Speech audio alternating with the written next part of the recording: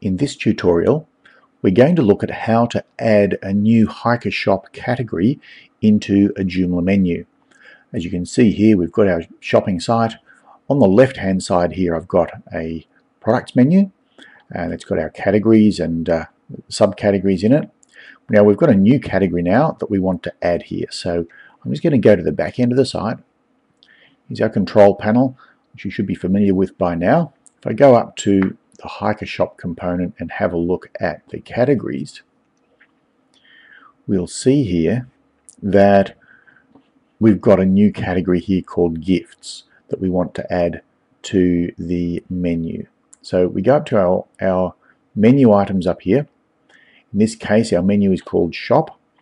Um, if you're not, you can just go straight here to add a new item, or if you're not sure if it's the right menu, just click on that and it will show you the current items that are in there. We can see there, yes, this is the um, products categories. So we click on new to add a new category. Now, if you're not sure of the settings, you can open an existing um, menu item and have a look at them just to uh, be sure. Um, but uh, I think we should be right this time. This is a categories listing. You can also have things like uh, products listings and so on.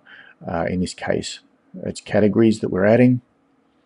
Now we'll see some changes happen here as that loads, and there we are. We have HikaShop options that can be added to this menu, but we do need to at least save the basics first. So I'm going to give it a title, which is gifts. Everything else there should be fine, so I'm just going to save that. And we'll see here this is now live. So I can now click out of the Joomla menu and into the HikaShop uh, options available to the menu. So uh, it's called gifts as you can see. Let's remember that. Now we are showing images and we are showing descriptions on the pages. This is the information that shows not on the menu item but on the page you go to when you click on it. Go to a category. We come down here and click select, we can nominate which category it's going to point to. So in this case, uh, it's already highlighting the product categories. So we need to go to the right hand side, click on gifts. There we have gifts is now the focus of this menu item.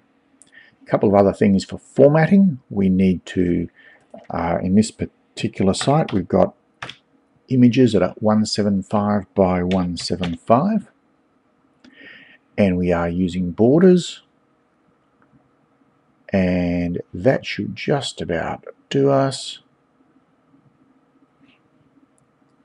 So I'm going to save that. Go back to the Joomla options.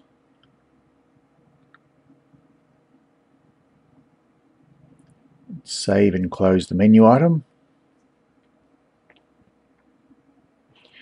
And if we go to the front of the site and do a refresh of the page, if you're not sure how to do a refresh, simply hit F5 and we should see here we now have gifts on our menu. And there they are. That's our gifts.